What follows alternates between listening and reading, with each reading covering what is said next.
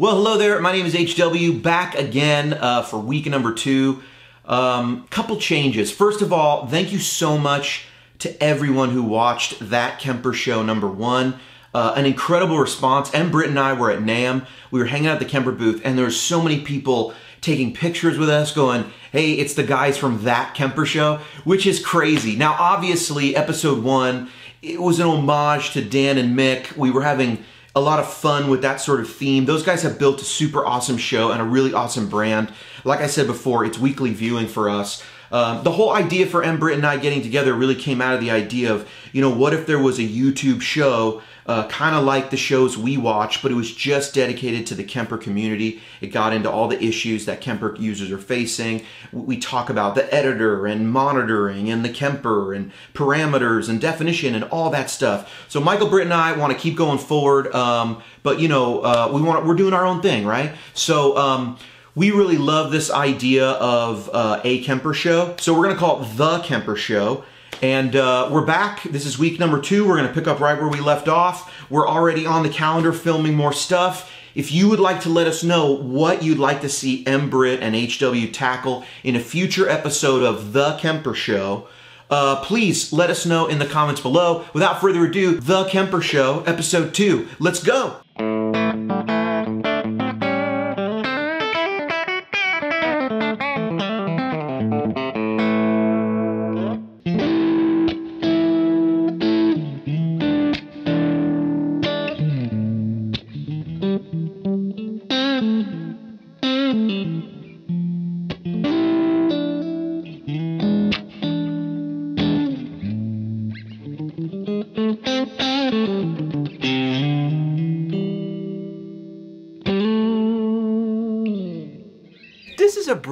Guitar. You sound great on it too. Thank you so much. This, um, it's the same pickups as I play, Sort of. sort of. Sort it's, of. It's the S90s, It is the but S90s. you've gone and done all sorts of magic with the magnets and such. I put the magnets in the freezer. Yeah, No, I didn't do that. degaussed them over 40 years in the Exactly. freezer No. with uh, Did not use a freezer. What'd you do on here? Because everybody, you know, knows I am really outspoken. P90s are the best. You are too. Yeah, I love Uh, P90s. we we both love P90s, but I really love those S90s. The S90s um, are great. Yeah, you know, they sounded a little modern for me, which is not Yeah, a bad thing. they- it's no- just a different flavor. they definitely have that that thing, and I've never really known if it was maybe some of the silent single coil system or what you know caused that. I definitely hear it. I like them, but I also really like. Um, I, I love vintage Yeah. sounds and tones. I love low output humbuckers, and I Yeah. love like some of the Fender custom shop pickups that I think really just nail that like Oh, era. yeah. You know, um, but So what my if- main Anderson that the, it was my original 3P90. I put Duncan Antiquities in it, which are whatever they do, degauss and Yeah, whatever they yeah, do yeah, to make them old sounding. Right. And they do. They sound really vintagey. Yeah. So when I would compare the new S90s to that guitar, the other one just had a little softer sweetness to it. So I thought, what can I do to this? Right. Short of just gutting and replacing the pickups. So I just swapped the magnets. so what'd you put in here? I believe now there's Alnico fours in the in the neck and middle, and I think an Alnico three in the bridge, or two out. Of, There's two magnets per pickup. So Yeah, and it sounds to me like we can compare these two guitars, but um, I know what that guitar sounds like really well. But these sound like kind of like that, but just a little more vintagey. yeah, it's a little bit warmer, sweeter sound. it. Yeah, you described it as woody. woody. Yeah, To me, it's it's a little more almost 3D. yeah. There's You a little bit more dimension in it. Yeah, there is for sure. The bridge. Um, what magnets did you put in here? Alnico threes. This has a little more of that um, Nashville telly.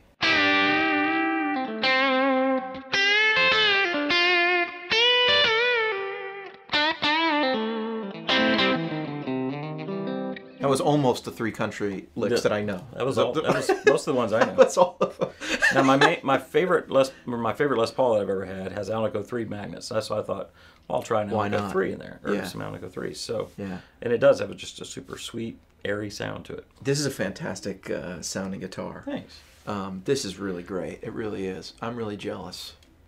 I love mahogany body and necks. I've got a lot of those guitars now, but I I'm just love them. I'm gonna have to. I'm gonna call Suhr and say, "Give me the MBritt special." They're gonna go, "What? What? one Mateus Asado special coming up. I designed that. There's a I forget which music store has a Suhr designer, so you can get on there and just choose Mm-hmm. Yeah. what pickups you want, and, Yeah. and it shows you Matt's, visu- visual. Matt's Music, Matt- That's it. Had a visual representation of what the guitar looked like. This is supposed to be a root beer finish, and I guess it is a root beer finish. Yeah. But when I saw it on the computer, it was much lighter, and there's much more drastic difference between Mm. the dark and the light. And so when I got it, I was like, "Oh, this doesn't look like the way I wanted it to." But I'm used to it now, so it looks. It's This- nice and classy looking. Yeah, this looks fantastic. Here, play um play that guitar a little bit so people can hear how it sounds.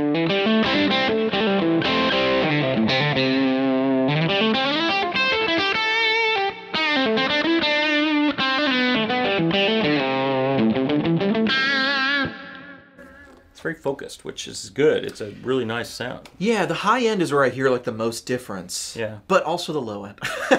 but you know, like- and the low end. and end. the low end, and sort of the Maybe middle in the too. middle, too. It it they really. They, they really sound different, but the same. You know what I mean? You can Yeah. tell they, they come from similar things. There's some similar things. And there's different body wood. That's mahogany with a maple cap Yeah, and, and mahogany neck. This is so who knows really what the something. I might switch the magnets in there now after this, and then Relatively easy. yeah, and then well, I'll probably just have you do it. I'll. I'll buy a hot chicken, and you can switch the magnets out, and then uh, I fixed Susan's Duesenberg, by the way. you did, you did, and you know this. Um, but then we're gonna be into well, the body woods are different. Yeah. We should probably talk about the Kemper at some point. It is that show. It, it is that it is that that Kemper show, and it's episode two, and it's our favorite profiles. okay.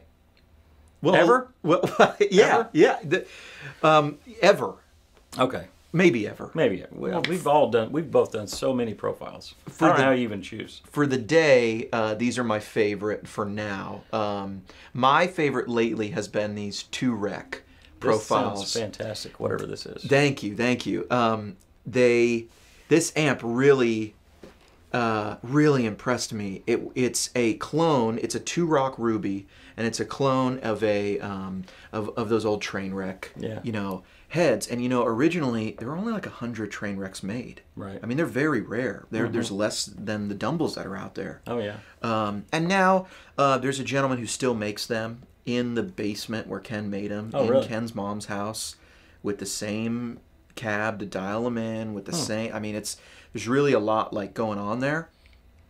Um, and it's a I think it's a people have different opinions about it. It's a it, the guy's definitely trying to honor the the Mm-hmm. legacy and what it is, and he's trying to do everything exactly the same.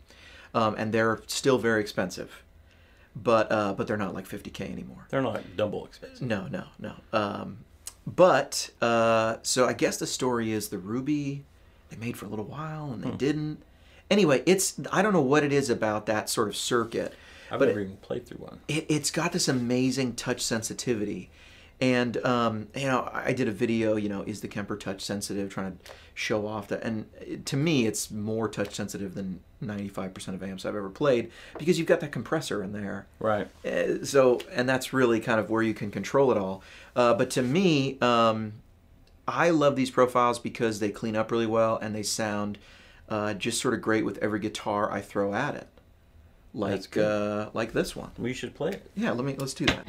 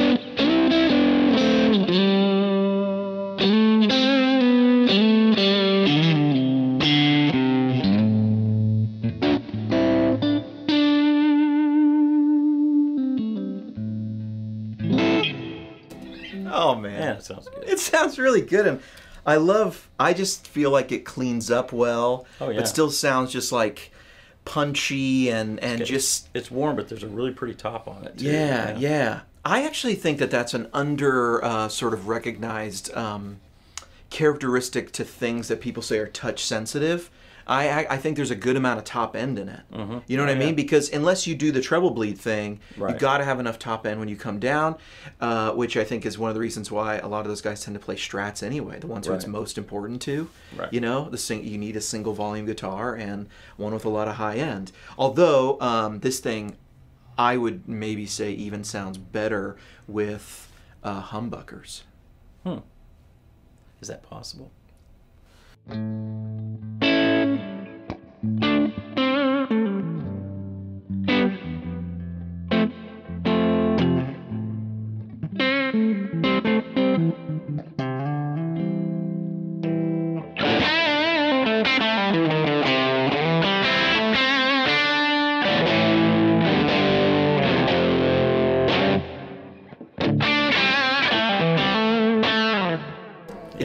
so authentic. It even good. went out of tune a little bit. No, it sounds great.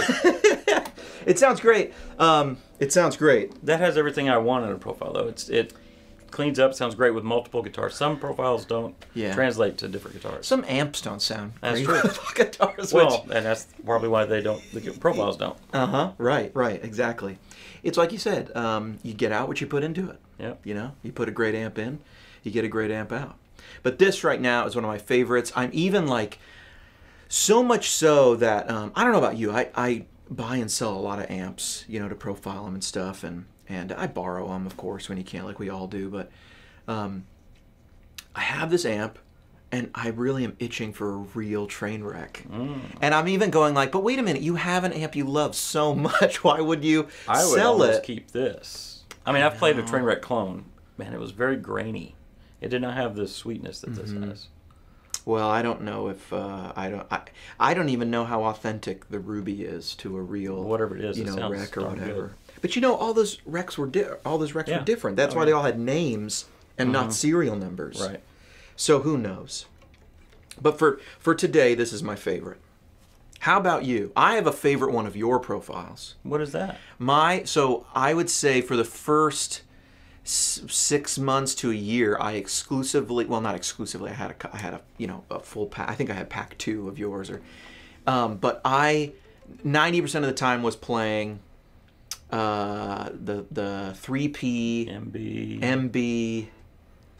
Uh, it was the ones that say AC and BF. Yeah. It was the two of that same channel. yeah.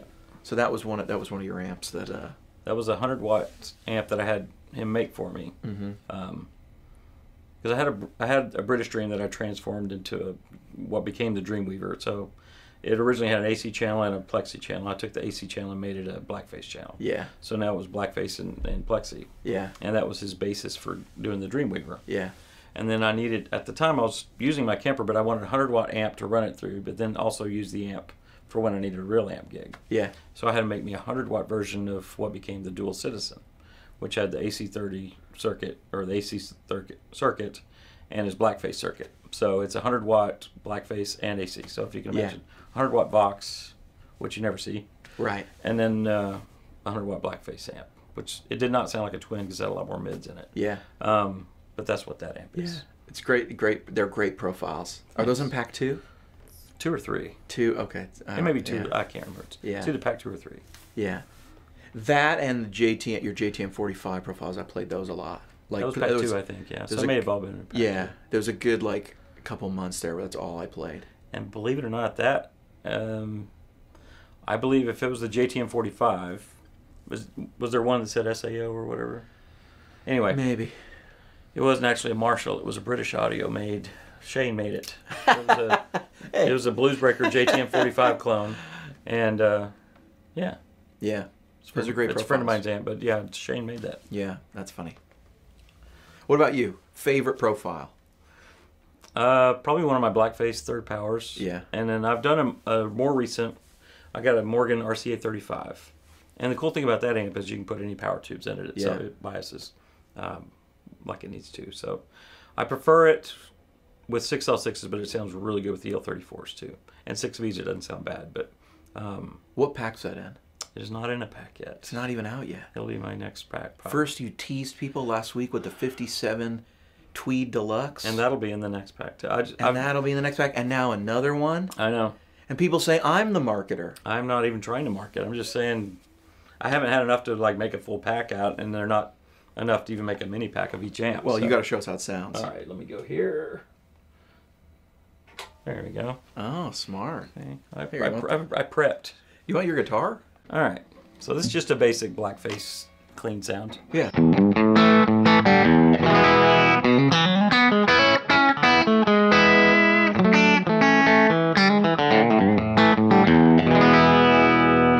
It's very full sounding. That's that's the Morgan. Yeah. The third power that I'm used to is this one. Tonally very very similar. The Morgan just has a little bit more bottom.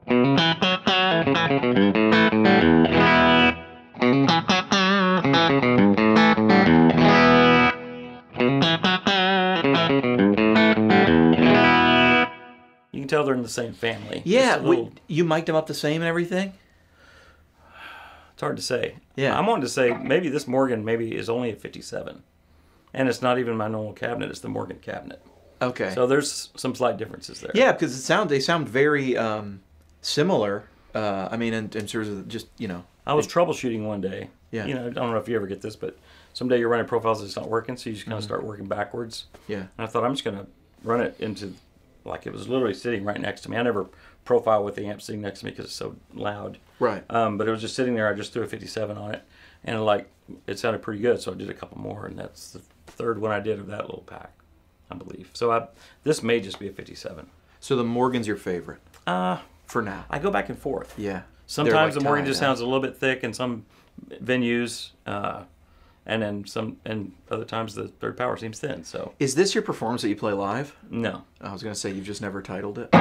no, I just. I, I dragged my my uh, sounds into yours, so I thought, well, instead of me scrolling for two hours on camera, I just I dropped Yeah, them in. The,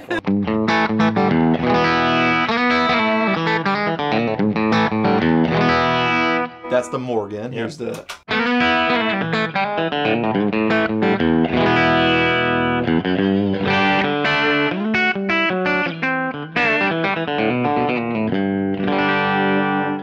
The- It's a little different in the top end too, but they're Yeah. they're very similar. They're very similar, and they both work really well. All of this year, I've been using pedals with it. Mm-hmm. I made the mistake of. Uh, this all goes back. If you want to hear a long story, I'll tell you the long Why story. not? Okay. So I traded or whatever I did. I don't remember how I got the Morgan. I think I traded something for it Yeah. uh, for this Morgan head and cabinet, and I liked it so much. I profiled it and and it was. I decided it was probably going to be a keeper amp. So I thought right. I'm going to take this on the road just for a palette cleanser. You know, I've been using the Kemper on the road for five years. I thought I'm just going to take a real amp out, get that visceral kind of thing you get with a real amp. Mm-hmm. So put a pedal board together for it and was getting ready to do that, and I started thinking about all the things I don't want to do. I don't Right. have to mic cabinets. Right. So I got one of the Suhr reactive load IRs and loaded my IR, my favorite cabinet in there. So then I'm running uh, the Morgan into my or my pedal board into the Morgan with the IR thing. And then I was still I was trying to program for the show and I thought, well, I'm not gonna have my harmonizer now for my two or three solos that I need the harmonizer on. So then Uh, I'm not gonna have the rotary speak. Well, I had a, a Lex rotary thing, so Right. Anyway, so I started thinking about it. So it morphed from going just for the pedal board of the Morgan and then the pedal board Morgan to the Suhr reactive load. And then I started trying to compare. I did something crazy. I put the real amp with the Suhr reactive load IR Yeah. in an effects loop on the Kemper. Okay. yes. Right. So I could turn the amp and stack up, her turn the whole stack Yeah, off, yeah, yeah. and just use that. So I was just using the Kemper for effects. This lasted about a day, honestly. Um, so now I'm using a real amp and the Suhr Reactive Load IR, and just using the Kemper for effects, and it sounded great. Yeah. Yeah. And then I thought that's just a lot of crap to carry. Yeah. So then I started A being. Yeah. What But- were you getting that you weren't getting with just the Kemper? Well, the 'Cause real- you like having And here's the deal. yeah. I, I found out the difference wasn't the amp; Right. it was the pedals. I see. Yeah. So I was A being, I was, you know, had my game pedals and, and Mm-hmm. everything. What I really missed with going just Kemper was the game pedals. Because the game pedals in there are, are good, they're okay. Mm-hmm. But using a real pedal in the loop of the Kemper just opened it up and made everything sound bigger. Mm-hmm. It's almost like the dynamic range got bigger and it sounded less compressed. You could get the gain and volume or whatever, but it wasn't as, as compressed. So that's why this year I've been so I ditched the whole reactive load and real amp thing and just realized that if I just put a couple of gain pedals in here, uh, I can use all the effects that I love and know and I'm used to, and I still get the amp sound that I like. So I basically use a clean platform and two or three gain pedals. We've got to shoot out, I think, some of those like some type of setup where we compare how you feel about the pedals, how they're being like maybe versus the real thing. And or, I've even like, tried to real- profile the exact pedals I use in the loops, and they don't sound. Right. I mean, they sound similar. I mean, because Right, the Kemper right. does capture things pretty well. It's It- more of a compression and just feel thing. It uh, and I wonder if we couldn't try the two sort of pedal tricks, which is taking the dirtier profile and backing off the gain a bit to get you more headroom with the profile, so that it knows kind of how it's coming up. And then the other thing is using, um, is not using the front input.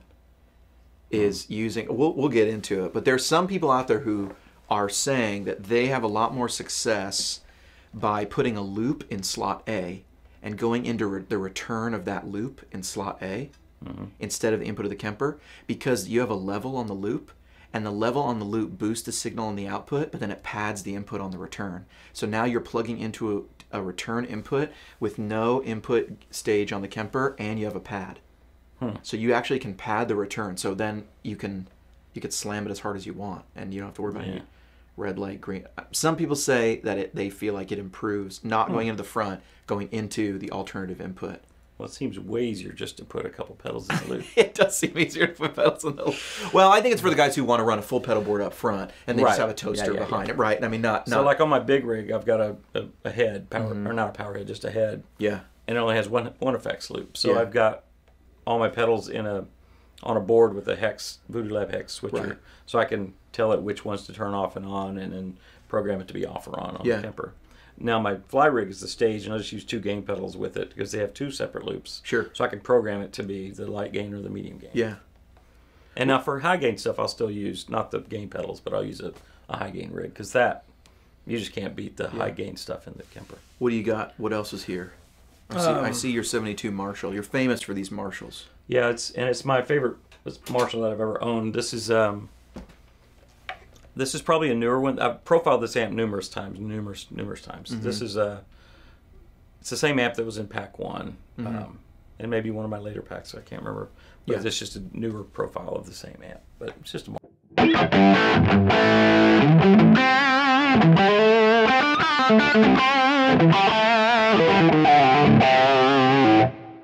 You know, sometimes people say that we don't do high gain. And whenever I hear a sound like that, I go, "This is it's as high as I ever heard." I mean, not as I've ever heard, but Right. it's as high as a Marshall goes. yeah. You know, well, maybe Well, it's probably more max, because I but- goosed it, I think, with a Timmy or a Klon. Right. But um, Yeah, it's- and I don't know what it sounds like on the recording because we're Yeah. recording this direct. But we yeah, also we're have going. this little cab. In yeah, we're just listening through through your signature So- uh, powertrain. So when I hear it at this here. volume level, where we could almost talk over it, it Yeah. sounds muffled and all Yeah. like this. But um, most of my pre or most of my sounds are meant to be either played right, pretty loud Yeah. or just I have them in my ear in my ear monitors where it's Right. this far from my ear, so it's Right. pretty bright. yeah, So, but that's that's another thing about the Kemper I hear complaints about. It's just it doesn't sound the same. Well, throw it on the bridge. Were you on the bridge just now? Yeah. Yeah.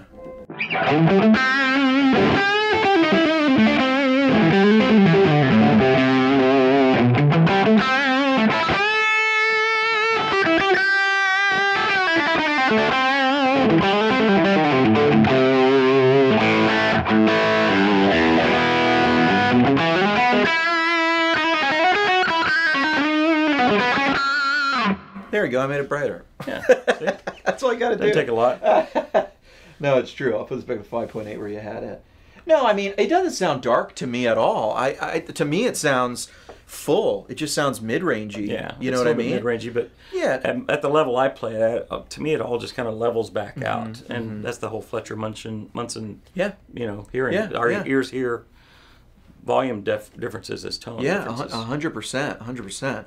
Um, yeah, and and the, this thing sounds great. It definitely imparts a, a bit of high end roll off. Yeah. and that's what you get from just having a speaker in a room that you don't point at your ears, Right. which is very different than the sensation of pointing monitor, uh, uh, studio monitors right at your ears, right? Right. We always point them at our ears. And When I'm so used to having amps blowing behind me at Yeah. my knees, so I don't want all that high end stuff. Yeah. That's why I don't like FRFRs that point back in my head generally as a Yeah, rule. Just, yeah.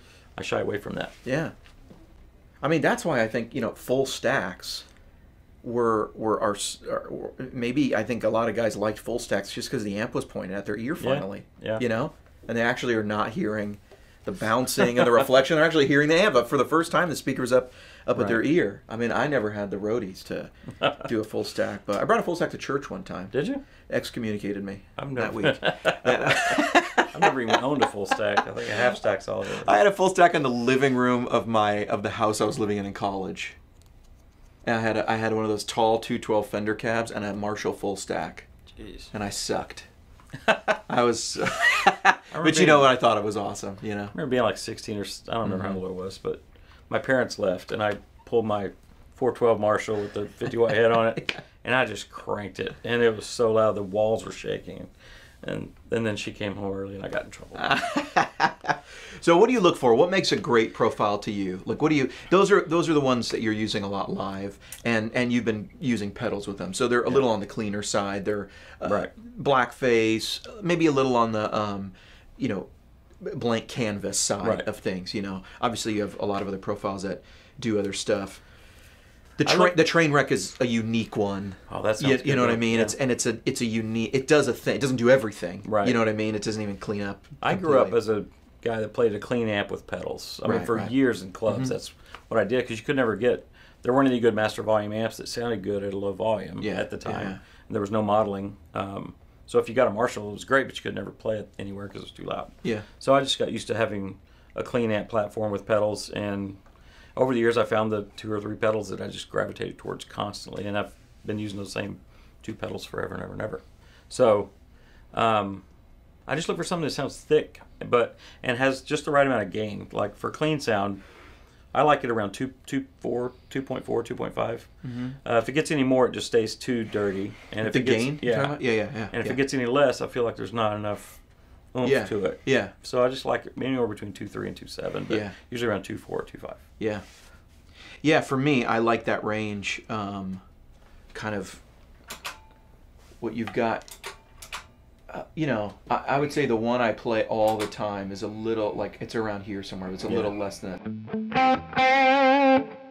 Yeah, to me, I'm like like three, three and a half. Yeah. and um, and then I like using. Uh, I, I feel like the P90s do it well, or I'll use a Strat with a humbucker and singles, and then it's sort of like the clean or mean thing. Right. You know what I mean? Yep. I only play this at home or in videos. I never take It's a guitar like this guitar. out. It's a beautiful guitar, but I know I get so lost. I'm like, which one's the volume again? Why didn't they? Yeah. But you know, when you do the trick, you know, neck on five, like that's what I was playing earlier. The neck is clean because it's on five, Right. and then ten down here. Right. Right. Then it's super fun, but uh, but I don't always want to do that. You know. Yeah. Yeah. It's got a Santana headstock. Why is that? So I believe that this was the, if memory serves me correctly, this was the first single cut guitar that came out after the lawsuit. Oh wow. and um, it was before they had really decided to do the single cut, the 594 stuff, but it was it's called the Ted McCarty, which Paul says is was a you know uh, because Ted had done some consulting at PRS. I think they had won the lawsuit, and then the next model out was the Ted McCarty. Like it was a uh, Thumb in their nose. yeah, it was a thumb in their nose kind of thing. But it has the 5708 pickups. They just made those. Yep. Uh, they hadn't gone to the two-piece bridge yet, and I think to get it a little more in the vein, they put the Santana headstock, which is you know um, just a little more. Wouldn't even say traditional. It's just less pointy. yeah, just less less noticeable than the Yeah. PRS. I think maybe they thought this was a little just something else, but not a Santana. But to my knowledge, the only PRS guitar that has a Santana headstock Yeah. that's not a Santana. And um, you know, whenever I put like check out this Les Paul, people always remind me in the YouTube comments that that's not a Les Paul. It's in the vein of the Les. Yeah, it's definitely you know that's not a strap. play play my. So this this is my favorite like mid gain that I've had forever and ever. It's a it's a Tweed 56 Pro. Yeah. Um, it's it's in I forget which pack. 56 Pro 8. But anyway, that's one of my favorites. Why don't we play this with the guitar?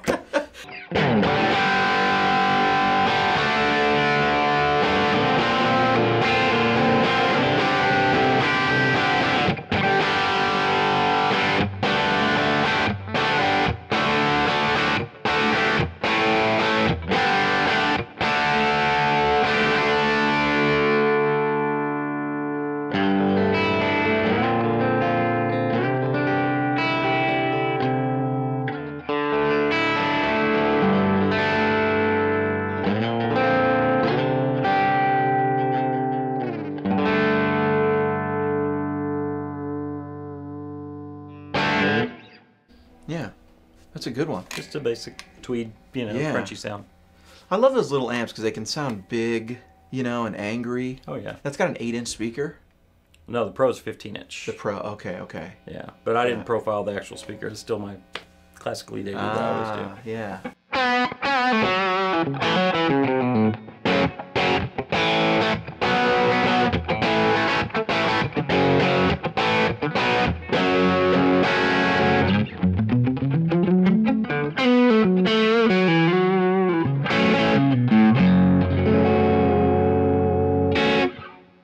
It gets That's great, like the. Mike Campbell kind of, you know, Yeah, yeah, yeah, yeah. Tom Petty stuff. Mm-hmm, mm-hmm. Yeah, Yeah. yeah. You know, they never clean their guitars. No? Ever? Mike has a Tele that they've never cleaned. Oh, that's disgusting. It really is. I kind of want to do it with one of my guitars. Uh, I can't do it. Well, to me, a great profile uh, uh, is the one that you're uh, that you're most happy with, You're inspired by? inspired by, and um, it. Uh, I think it can be the amp that you are most used to. And I know, you know, for me, every weekend I say that the, that the Rec was my favorite, but um, every weekend I'm playing a '90s Vox AC30. A lot of times it's a profile that I made with the King of Tone in front of it, and it just goes from clean to like a little overdriven on that amp, and then you know I got the KOT for. I think we all hear the sound in our head that we want to hear, so Mm-hmm. it's a matter of finding that amp. And a lot of times it's because you've played that real amp for so long. That was my rig. That's your mental Yeah. fingerprint of that amp. Yeah, and that's what I want. Uh, you know, on Sunday mornings, I know how it's gonna sound. Those It- 90s AC30s are amazing. Yeah, they Six are. input ones? Yeah, Yeah. Mhm. TV6 or Yeah, and they just to me it just works for that style of music and Yeah. what's and musically like what's going on there. And the cool thing about having a Kemper is you can add some low end that you might not be able to get in the Yeah. real world and Yeah, and tweak it in ways that you can't do on the real totally. Boost the mids up, get the Yep. presence up a little bit, it depending on the guitar and stuff. Yep. Um, I've, I'll use it with an old uh, an old like '64 Starfire, and the pickups are real sort of. Um, they just don't sound like very hefty, eh, but I can fix that. And then Mm-hmm. It sounds great, you know. And then people are like, "Whoa, crazy guitar!" And I'm like, Yeah. "Did you hear it without the without the Kemper? It doesn't sound that good, but it's awesome." Well, uh, hey, leave in the comments below uh, what's your favorite profile, and uh, yeah. Yeah. Well, I've been HW, I remember it. and uh, thanks so much for watching. HW number it out.